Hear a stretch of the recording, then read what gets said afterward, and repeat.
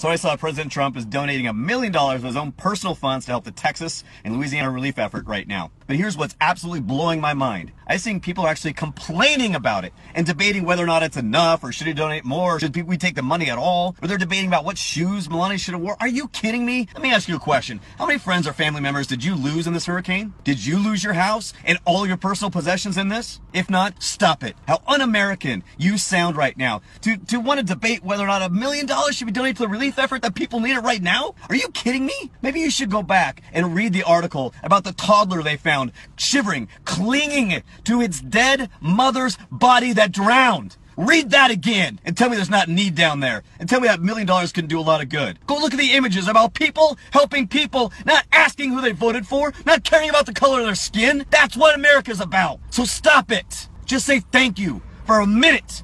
Put aside your differences and say thank you Those who find it difficult to understand that the American people uh, voted for Donald Trump. Get over it because he's President of the United States. And what I would say for all of us here, and this actually includes uh, myself, is that we have to ask ourselves why is it that people felt so left behind, made the democratic decisions that they've had, which we think we can't understand, some of us. How, how can you possibly vote for Brexit? How can you possibly vote for Donald Trump? And the fact is, that the people have.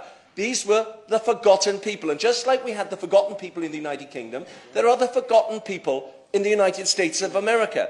We may not like some of the things that he says, and I certainly don't like some of the things that he said in the past. But I do respect the fact that he stood on a platform which he is now delivering. He is going to go down in history as being roundly condemned for being the only politician to deliver on his promises. I know that we can all go back and talk to the people that we know in our own little echo chambers. We all we hear are the same things, but the fact is there were 61 million people who voted for Donald Trump.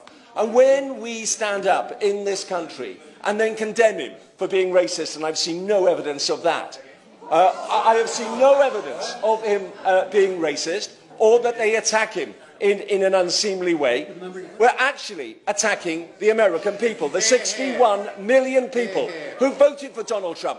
If they wanted more of the same or the usual stuff, well, that was on the ballot paper. But they decided, by the majority of states on the Electoral College, as it works, that they wanted Donald Trump. You know, I was upset a couple days ago when I heard that Jimmy Fallon, Jimmy, you make Americans laugh. You make me laugh. I love watching you, Jimmy. But to, to see you come out and use your show and say that you're ashamed of our president, to me is so distasteful, so unpatriotic, and so un-American that I don't think I can watch your show anymore. LeBron James, the king. Man, we love watching you play basketball. From another brother coming to you, I hope you see this, LeBron. Stop the hate against our president. It's not necessary. I see Kevin Durant, KD. Now he's playing for Golden State Warriors. I love the team. I love what they're doing. And now KD, that he's not respectful. He doesn't respect who's in office right now. People want to talk about what Trump did or didn't do, what he didn't say about the KKK or the Ku Klux Klan. Go YouTube how many times he disavowed David Duke and the KKK.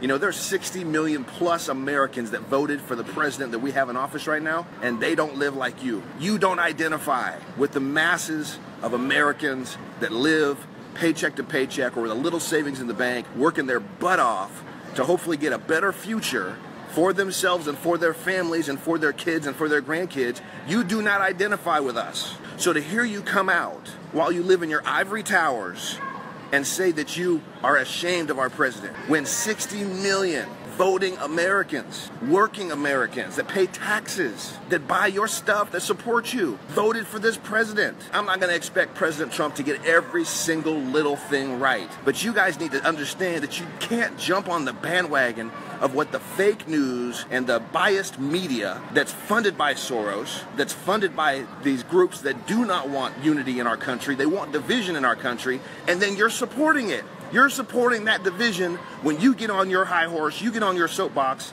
and you say that you don't support our president, and you piss Americans like me off. The African American sports celebrities, the stars, where were you when black cops were getting shot and killed? They're getting shot at and killed in Dallas. They were getting shot uh, in other parts of the country. Where were you when Obama didn't step up and say something against Black Lives Matter? When he didn't get up and totally denounce the Black Lives Matter movement, where were you? Americans, we have to understand what they're trying to do. They're trying to divide and conquer. Celebrities, please stop using your platform from your ivory towers where you do not understand the heartbeat of Americans. Stop coming out in your distaste and your shamefulness about our president. We put him in office. We believe God put him in office. So, no, he's not going to get everything perfect.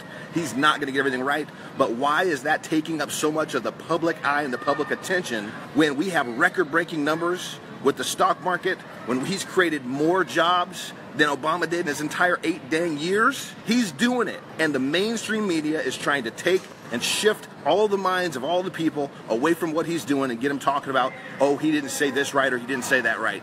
Celebrities, please stop. And you know what? If you're celebrities, if you're a celebrity and you support our president, please stand up and say something. Please say that.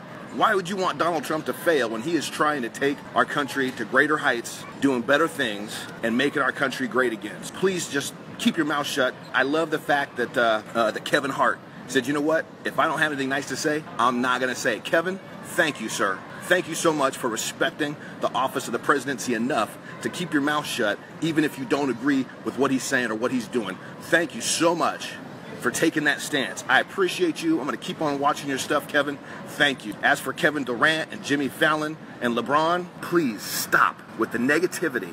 Let's unite. Hate cannot drive out hate. Only love can do that.